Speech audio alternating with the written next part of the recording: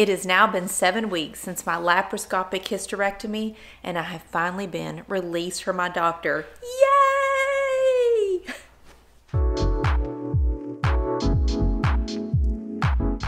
So it has been almost seven weeks since my surgery. I had my follow up with my doctor a couple days ago, and he released me. He said, You look great, go live your life, do the things, see ya and that's exactly what I intend to do. So when I went to my follow-up appointment, I had several questions for my doctor, which I'm going to share those with you in today's video. And now that I've been released, which means I have no restrictions. I can now lift, push, and pull things over 10 pounds.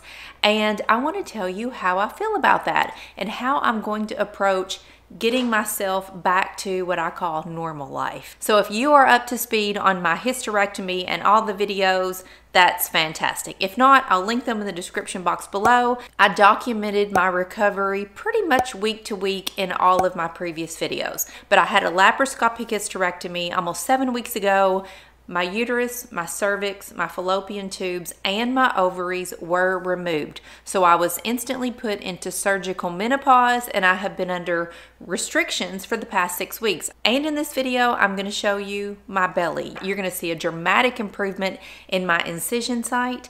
And at my follow up appointment with my doctor, I learned something that absolutely blew my mind. And I'm going to tell you what that is when I show you my belly. But now that I've been released, he said I can do anything that I want to.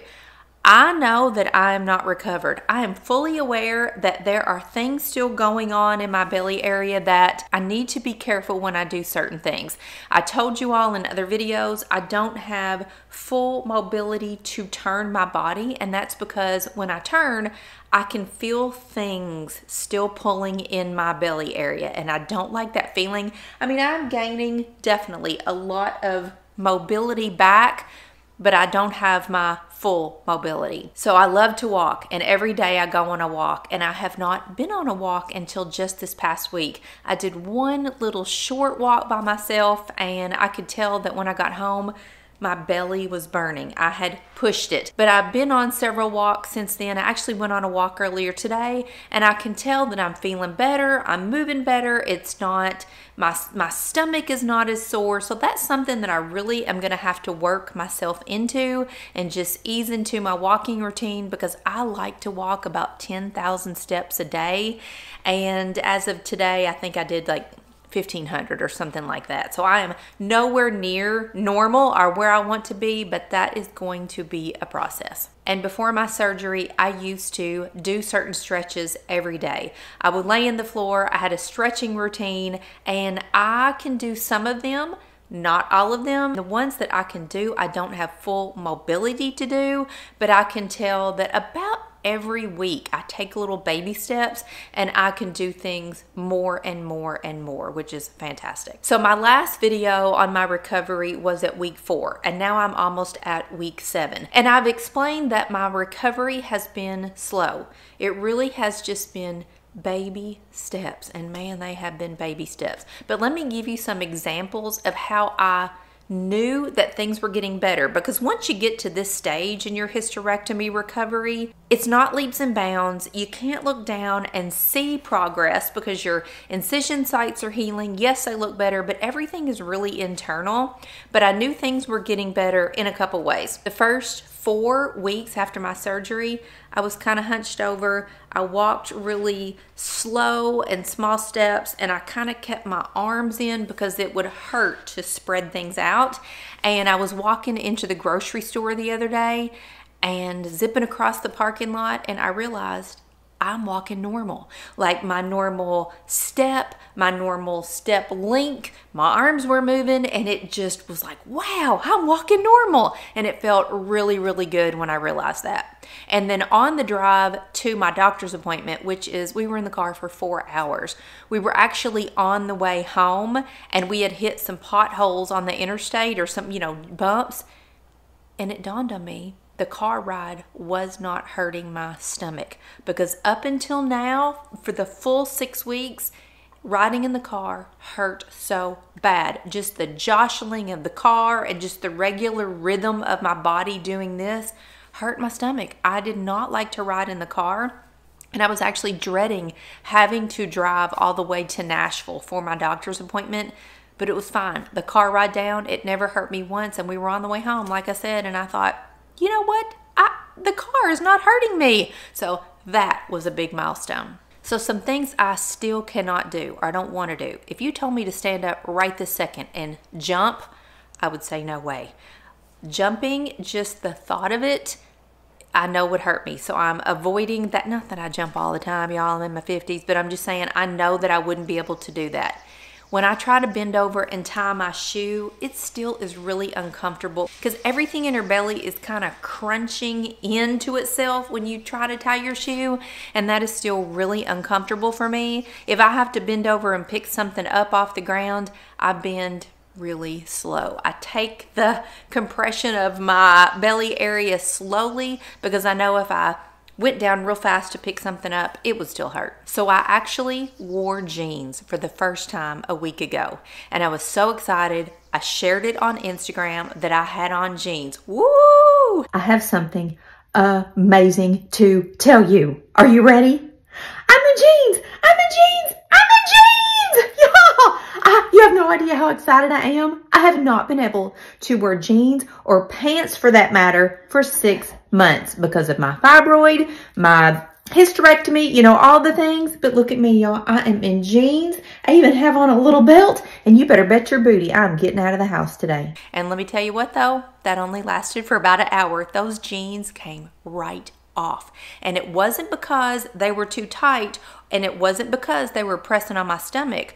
What bothered me was it's really hard to explain this, but it's almost like all of the nerves in my belly area where all of those incisions were and all of the, you know, trauma on the inside, those nerves and the skin all across my belly are still really sensitive. It's like they're electrical almost. And when I put on jeans, anything that is stiff, like a jeans, because there's a zipper and a button, when that stiffness rubs against my skin, it really bothers me. It, it, was after an hour, it almost got to the point that I was starting to get a little nauseous because it gave me the weirdest, most uncomfortable feeling on my stomach, and I had to take those jeans off.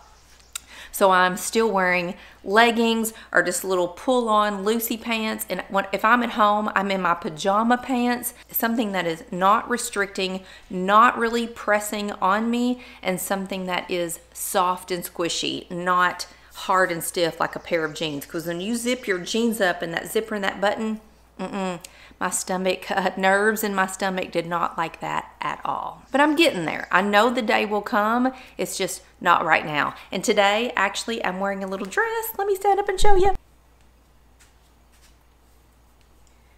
Lucy.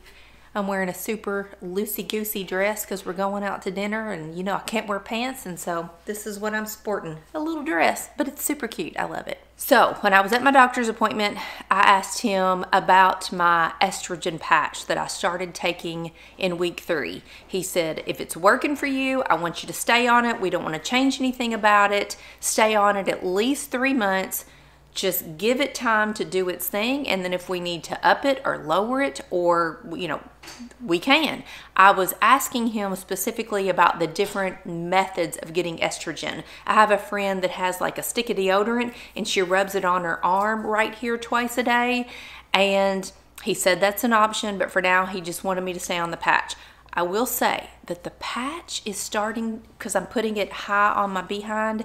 It's sort of making me itchy. Sort of. Not all the time. If I think about it, I'm like, ooh, that's making me itchy. But if I don't think about it, it doesn't itch, which is super weird. But when I take a shower and I guess my skin gets hot, you can see redness where like the last three patches were on my booty. So something about it is maybe a little irritating, but I'm to stick it out for the three months and then regroup and see if I need to change something.